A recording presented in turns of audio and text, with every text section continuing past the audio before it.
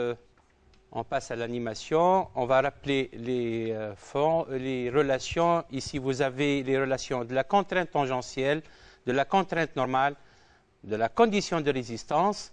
Alors, vous voyez qu'il n'y a pas beaucoup de relations en flexion, sauf il y a à déterminer l'effort tranchant maxi et le moment de flexion maxi. On va traiter ça par un exemple.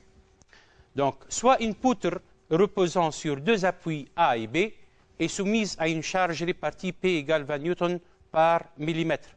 Tracez le diagramme des efforts tranchants T et le diagramme des moments fléchissants MF. La première étape est d'isoler la poutre seule et d'appliquer les théorèmes de la statique pour calculer les réactions aux appuis. Le, calcul ici a permis de trouver que le module de A euh, est égal au module de B est égal à 1500 newtons. Cette poutre euh, comporte une seule zone AB, où X est compris entre 0 et 150.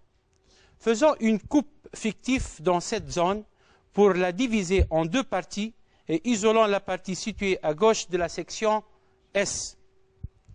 Ce tronçon, qui est à gauche de la section S, a une longueur x est soumis à la réaction en A et au poids P tel que P est égal P fois x. Pour déterminer les équations des efforts tranchants, donc on va appliquer la règle T égale moins la somme des efforts à gauche de la section. Donc on remplace en deuxième étape P par sa valeur Px, on trouve 20x moins 1500. C'est l'équation d'une droite. Pour tracer cette droite, on a besoin de deux points, au point x égale à 0 et x égale 150. Euh, Là, on va remarquer une chose.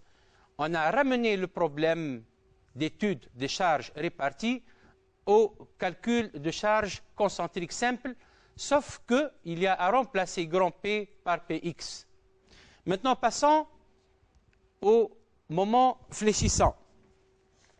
Donc, on remarque que la charge P est appliquée au centre du tronçon, c'est-à-dire à une distance x sur 2 du point G. On va appliquer la règle moment de flexion égale moins la somme algébrique des moments par rapport au point G. Euh, on trouve euh, donc, euh, puis on remplace P, grand P par sa valeur Px. On développe l'équation et on fait l'application numérique. Moins 10x au carré plus 1500x, c'est l'équation d'une parabole on calcule les points à l'extrémité de cette zone et on fait la dérivée de l'équation. La dérivée s'annule pour le point x égale 75. On calcule euh, les ordonnées et on trouve euh, qu'il y a une tangente horizontale.